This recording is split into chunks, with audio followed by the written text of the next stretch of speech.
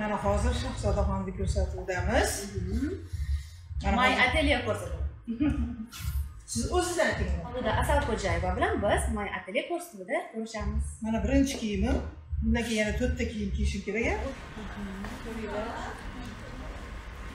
mana yarashdi mamzafa yangisini kiyamiz endi. Bu uchinchi libosim mana bu to'rtinchi libos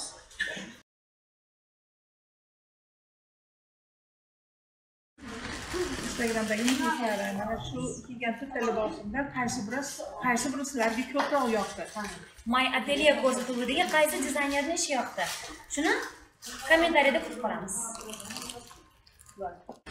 mamdud opa bu bizlarni sovg'amiz shahzoda butik atelyedan rahmat. Yaxshi kunlaringizni videosi qilsam rahmat. Sog' bo'ling bu syomkaga tushmaydi o'ziz uchun Rahmat. kameramiz olib ketadi katta rahmat. Bitta yaxshi ko'raman rahmat. Sog' bo'ling judayam chiroyli gap zo'r rahmat. Katta rahmat. Sog' bo'linglar qo'linglar dard ko'rmasin